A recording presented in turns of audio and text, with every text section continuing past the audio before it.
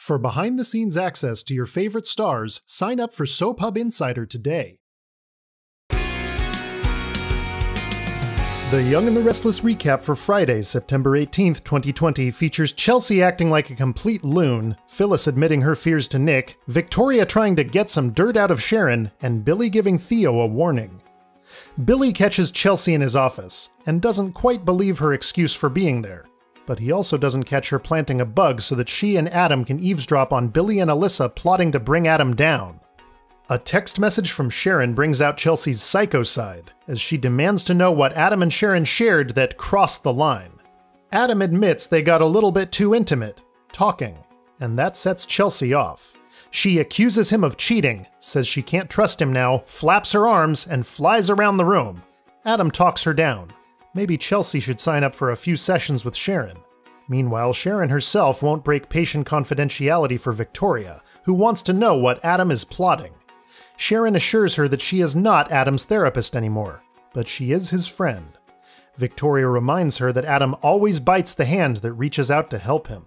Phyllis admits to Nick that she is always tense, waiting for the other shoe to drop. Nick volunteers to teach her how to chill out and enjoy herself, but Phyllis still remains on high alert for any way that their renewed relationship might go wrong. After Billy escorts Chelsea out of his office, Theo suggests they feature her designs on the site. Billy observes that Chelsea has gotten to Theo and warns her against his ex and her current squeeze. The Young and the Restless made its debut on March 26, 1973, having been created by William J. Bell and Lee Philip Bell, the show was groundbreaking in many respects, introducing more mature undertones and adult themes than had typically been present in the world of daytime drama. Y&R has won the Daytime Emmy for an outstanding drama series 10 times, and it's easy to see why.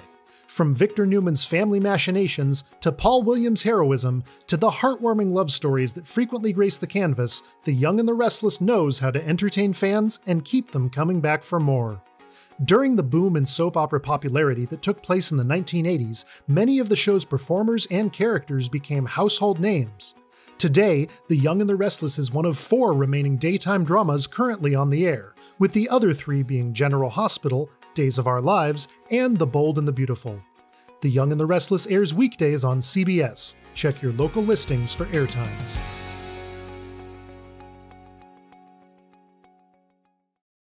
For products and apparel that show off your love of soaps, visit the Soap Hub shop today.